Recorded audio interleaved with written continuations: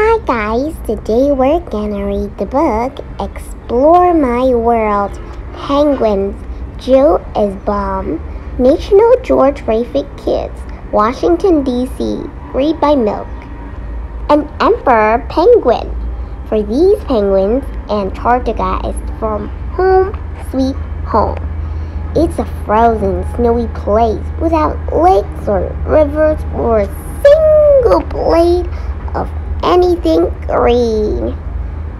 So, it's Antarctica, isn't it? The place where snow covered all.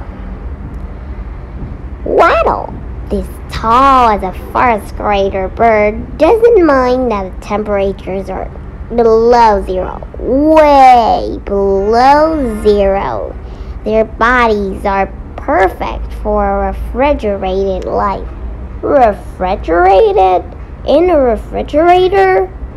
That's a joke. A baby penguin would not survive long in this frozen world by itself.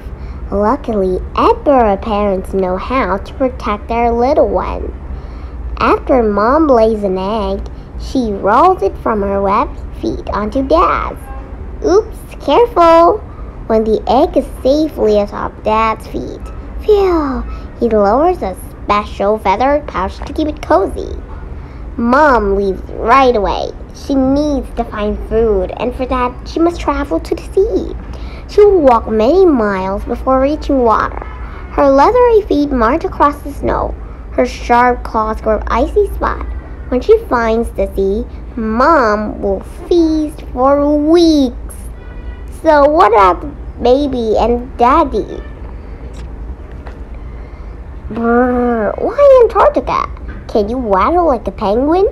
How can penguins live in Antarctica? Leathery flat feet are great for standing on ice and swimming. Why do you keep your feet warm? Feathers are tightly packed tight and waterproof. Underneath a layer of fat called blubber help protect against the ch- ch- chill. Is your hair waterproof? Sure. Bone chilling cold, icy winds, blizzard. Peng- the penguin dad stands through it all, keeping the egg safe and warm. He, he does not get a break for two long months, not even to eat. So, how can he live? Interesting. To keep from freezing, all the flounder penguins in a group or colony huddle close together. They take turns shoving into the toasty middle, then out again.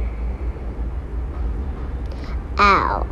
That is so good. Penguins are so, so, so smart.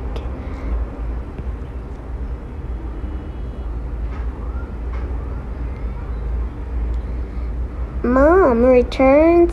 Mom penguin returns to the colony in July or August. She and Dad call back and forth until they find each other. Why?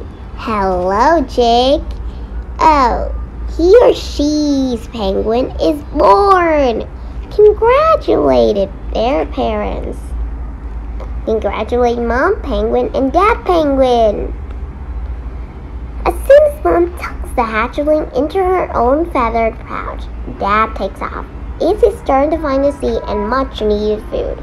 Like Mom, he waddle walks over miles of ice and snow. He sometimes flops forward to toboggan, fishing with his, sleep, his feet and slippers. Oh, flippers. I think it's slippers. What's for lunch? What do emperor penguins eat? Penguins eat food found only in the sea, like Antarctic silverfish, hook squid, and Antarctic krill. From their colony, penguins might have to walk 50 miles flying in open and frozen water. They dive deeper than any other bird, to 1,850 feet, and they are able to stay underwater. Mom Penguin's belly is still full of seafood. She brings bits up into her mouth to feed her chick.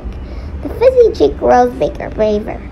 It pops out to take a look at the wide wide neighborhood and toddles over the snow to meet new friends.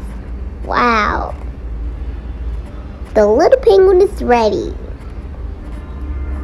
Summer arrives in December, and ice near a colony breaks up, and the adult penguin chicks it while mom goes to fish. Oh. Babysitting. Babysit or chicks it? Strange word, but it's also interesting and it's like a joke. Dive penguin. At last, the penguin is big enough to try swimming and fishing on its own. Sploosh!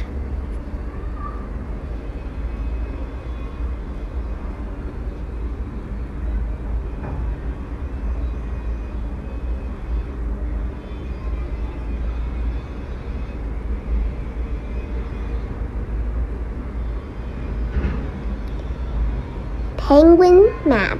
There are 70 different types of penguins. Most of them live in the southern hemisphere along the coast. Follow the key below to see where on Earth some of these penguins live. Okay, so there are a lot of penguins. Uh huh.